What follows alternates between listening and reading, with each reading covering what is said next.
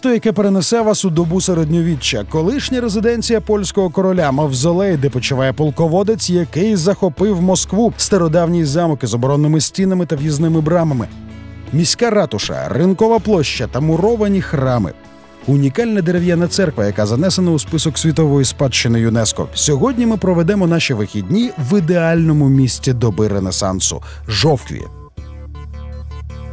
Жовква невеличке місто, райцентр у Львівській області, має статус державного історико-архітектурного заповідника. Поселення засноване в 1399 році. Міські права отримало у 1603 році. Жовкова претендент на внесення до списку всесвітньої спадщини ЮНЕСКО. У місті проживає близько 14 тисяч осіб, розташоване за 30 кілометрів на північ від Львова, за 35 кілометрів від кордону з Польщею на перехресті міжнародних автошляхів.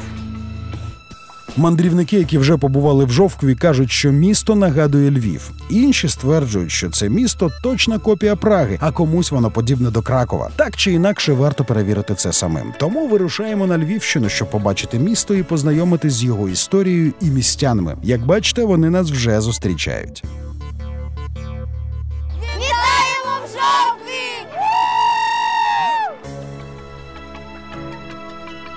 А ось і центральна площа міста. Одразу ніби потрапляєш в зовсім іншу епоху. Жовква безумовно унікальне місто, де тамуєш подих, коли бачиш численні пам'ятки, які щільно скупчились на такій маленькій території. Але спершу дізнаємося, звідки така назва в цього міста. Жолкевський будує замок. Але він будує не тільки замок для себе, він ще при замку засновує містечко. Для того, щоб місцеві жителі мали захист від ворожих набігів, для того, щоб тут е, розвивалася торгівля, щоб край розвивався. І люди багатіли. Жолкевський на честь свого прізвища. О, бо раніше родове гніздо Жолкевських це було село Жовква, зараз це Жовкевка у Польщі. І оскільки місце служби було тут, починає будівництво міста і назвав його Жовква як їхня родинна колиска. І на честь свого прізвища, свого роду. Місто Жовква збудоване за концепцією ідеальних міст доби Ренесансу. Це значить, що структура міста планувалася, і кожному архітектурному об'єкту відводилось певне розташування щодо інших. величезна площа, широкі просторі вулиці. Щоб завжди було сонце, завжди було свіже повітря, щоб було місце і для ринку, і для урочистих процесій. Всі вулиці йдуть під нахилом, щоб коли дощ падав, щоб дощ вимивав з міста весь бруд і все сміття.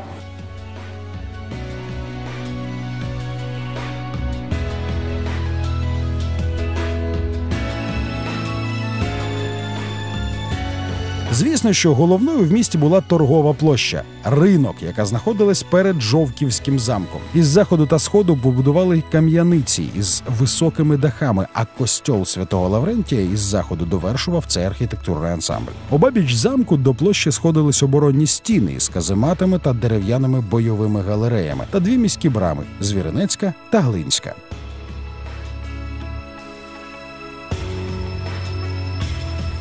Це місто єдине добре збережене в Україні. Приватне, тому що це місто почав будувати Станіслав Жолкевський. Ренесансне, тому що це будівництво на переломі 16-17 століття в часи пізнього Ренесансу. Ідеальне, тому що застосовані принципи е, планування міст, де би всім було дуже добре, починаючи від власника, закінчуючи просто людином. Жовка це було приватне місто. Тобто е, власник міста міг тут робити, що захоче, але воно мало магдебурзьке право. Тобто власник міста мав право втручатися у рішення суду, милувати засуджених на смерть, а також накладати вето на рішення міської ради. Якщо піднятись на міську ратушу, то можна побачити згори, який тепер вигляд має сучасна ринкова площа. Щоправда, тепер вона називається площа Вічева і є головною визначною пам'яткою міста. Біля неї тісно стоять усі основні архітектурні пам'ятки жовкви, про які ми розповімо згодом. Жовку можна розглядати по-різному. Е, Це е, можна приїхати, щоб побачити наш унікальний замок. Можна приїхати, щоб побачити загалом ціле містечко, але ціле, адже ціле містечко можна назвати музеєм під відкритим небом. За кількістю пам'яток, зосереджених на одному квадратному кілометрі, Жовква займає друге місце у Львівській області, Е, звичайно, після міста Львова. Сюди приїжджають паломники, які полюбляють відвідати величезну кількість храмів, яка в нас в місті знаходиться. Звісно, що переважна більшість туристів їде, аби побачити середньовічний замок. І не дарма, бо він таки вартий уваги. Жовтківський замок визначна пам'ятка архітектури і основний фортифікаційний елемент міста. Його збудував засновник Жовкви, польський військовий головнокомандувач Станіслав Жолкевський у 1606 році за проектом архітектора Павла Щасливого. Замок власників, замок, де точилося своє життя, замок, де жили високі люди тодішньої держави Речі Посполитої. Гетьман Жолкевський, пізніше король польський Ян III Собєцький і багато інших людей. Сюди приїжджали посли, тут відбувалися великі події, тут проходили бали, тут були зустрічі, тут буяло життя. Тут жили люди, господарювали, готувалися до військових дій, тому що 17 століття це століття суцільних битв, воєн.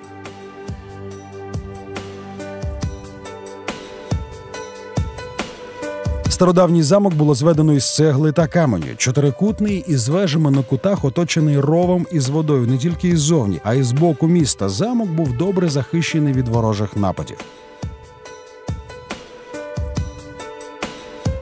Колись місто мало чотири брами, тепер лишилося тільки дві. За свою багатовікову історію замок неодноразово змінював власників і перебудовувався.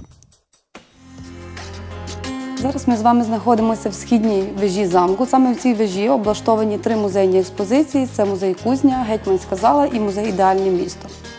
Унікальний музей наш тим, що тут ми можемо знайомити наших гостей з засновником нашого, нашого міста, з видатними постатями, які пов'язані з нашим містом. І е, якщо враховувати експозицію на третьому поверсі, ми можемо ознайомити е, усіх туристів, всіх бажаючих детальніше розповісти, що ж таке являє собою це місто ідеальне.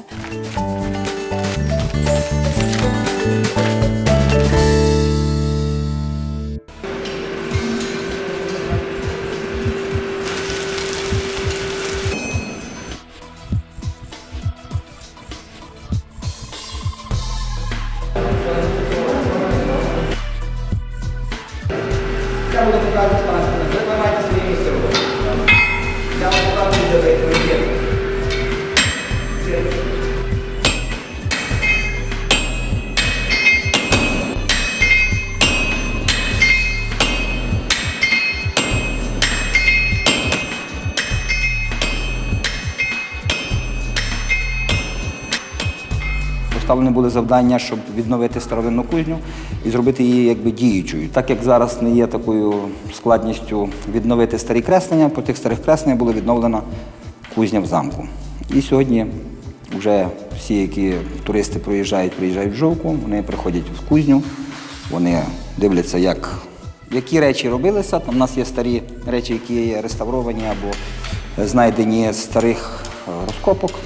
Тобто кузня якби є музеєм, але є діючою кузнею. Ми тут проводимо майстер-класи в цьому замку. У нас тут приходять дуже багато людей, приходять, приводять дітей.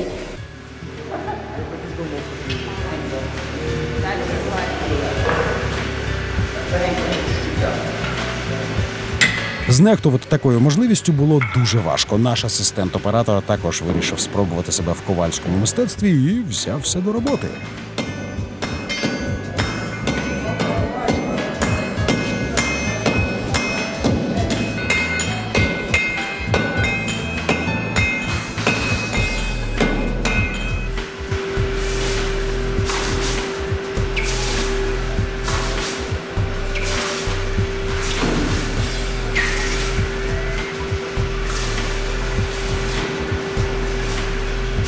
Запрошуємо вас до нас в замок.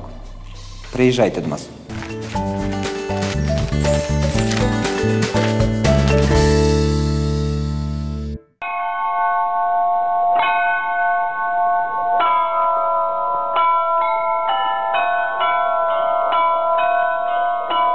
Отак щодня о півдні дзвони годинника виконують гімн України. А колись тут сурмив музикант, сповіщаючи городян про точний час. Тепер у міській ратуші знаходиться історико-краєзнавча експозиція Музей стародавнього міста з виходом на оглядовий майданчик. Поряд із ратушею костьол святого Лаврентія. Його будували 12 років на штучному насипу, закладеному полоненими турками, як родовий мавзолей родини Жолкевських і пантеон лицарської слави. Головний вхід облямований білокам'яним різьбленим порталом, який вважається одним із найкращих ренесансних порталів України та Польщі. У минулому він був головним міським храмом. Сьогодні цей величний костьол продовжує вражати гостей міста своєю архітектурою.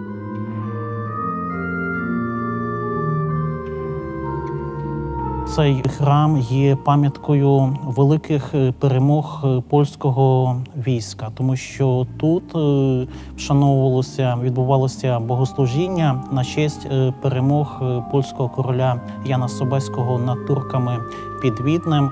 І щороку приїжджав король на ці богослужіння. Тут приймав також е, послів різних держав.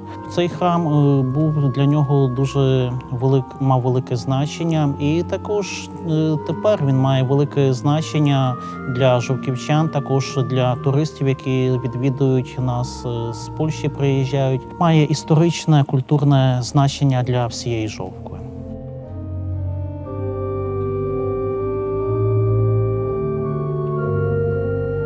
Кажуть, що за кількістю і значимістю поховань видатних діячів польської держави костьол часто називають малим Вавелем. У підземеллі поховано самого Станіслава Жолкевського, його дружину Регіну з сином Яном, батька короля Якуба Собеського, королевичів, державних секретарів, настоятелів, меценатів храму. Костьол вважають найбільшою, найгарнішою, найбагатшою спорудою жовкви. Його дзвіниця отримала назву Малої Пізанської вежі через те, що вона трохи перехилена.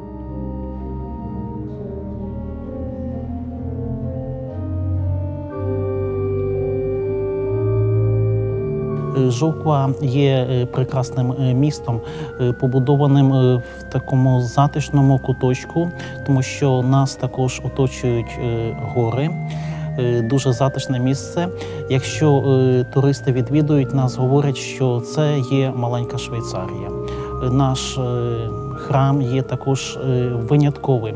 Небагато на Західній Україні є храмів е, настільки культурної і історичної цінності, які також е, відновлені, які знаходяться в такому чудовому е, стані.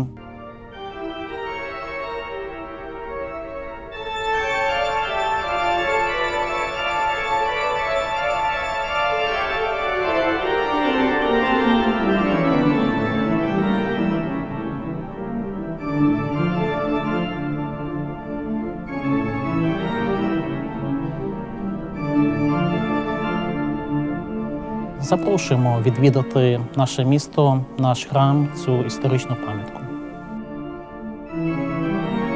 У місті стільки всього цікавого, що оглянути та запам'ятати все за один раз неможливо. Кожен куточок старого міста по-своєму цікавий і вартий уваги. Тому в наступній програмі ми обов'язково побуваємо в унікальній дерев'яній церкві, побачимо ближче замкові мури та стародавні в'їзні брами. Покуштуємо місцеві страви і придбаємо особливі сувеніри. Розкішна площа. Унікальний костел, який розповідав про те, як ми врятували світ. Церква, яку розписував офіцер січових стрільців, там, де всі герої української історії разом моляться за нашу свободу і єдність. Замок, синагога, чудова панорама, казкова панорама з вежі і дуже душевний теплий ламповий музейчик у цій вежі. Тихе, затишне містечко, в якому можна відпочити і після метушного Львова чи Києва. А також е, маленький шматочок Ренесансу. Чудова енциклопедія нашої історії, нашої давнини. Завітайте до Жовкви.